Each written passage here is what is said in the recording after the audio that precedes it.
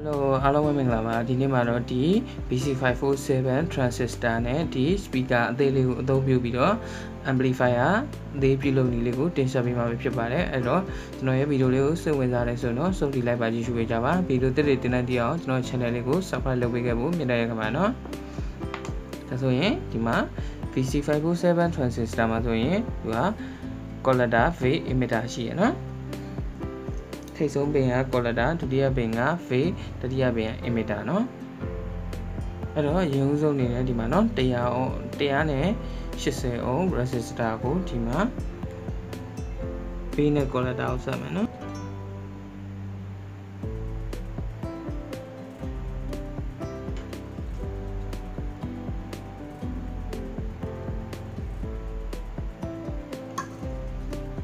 အဲ့ဒါပြီးရင်တော့ဒီမှာ90ဘူး220 microfarad capacitor ကိုဒီမှာနော်ဒီ fade ကနေဆက်မယ်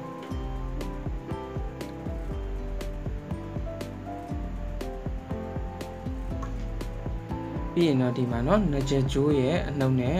အပေါင်းကိုအနှုတ်ကိုဒီမှာဆက်မယ်နော်နောက်ဆုံးဝေးမှာဆက်မယ်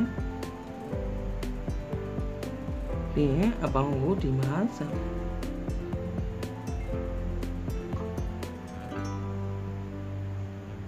နော်ဒါ audio input နော်ပြီးရင်တော့ဒီမှာ speaker ကကြိုးတစ်ချောင်းကိုဒီမှာ collector ကိုဆက်မယ်နော်ထိတ်ဆုံးပင်ကိုဆက်မယ်နော်ပြီးရင်ဒါလေးကိုဖြုတ်လိုက်ပြီးရင်တော့ဒီမှာနော်3.7 volt အဝင်အတွက်အနှုတ်ကိုဒီမှာ transistor ရဲ့နောက်ဆုံးပင်ကိုဆက်မယ်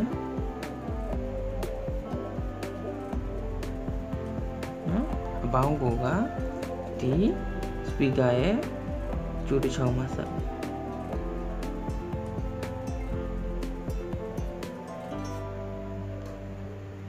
နော်ဒါဆိုလို့ရှိရင်တော့ circuit ကပြီးသွားပြီ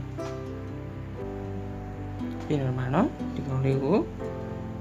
ကိုလေးနဲ့တိုးလိုက်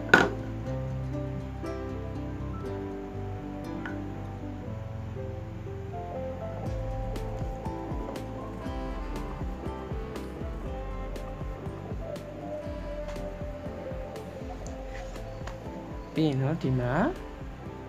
speaker ဖွင့်ဖို့အတွက် music ပေါ့နော် music input ဝင်လိုက်မယ်ပြီးရင်ဒီမှာ3.7 volt battery ထည့်လိုက်မယ်နော်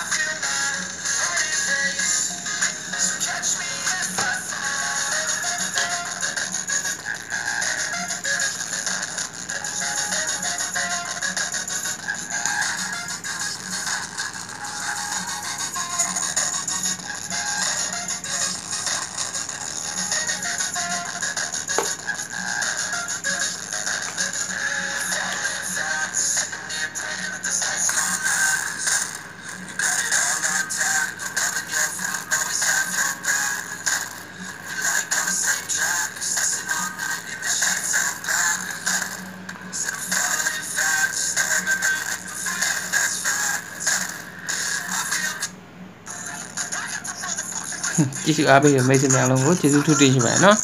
နောက်ဗီဒီယိုမှာပြန်တွေ့ကြမယ်ဘိုင်ဘိုင်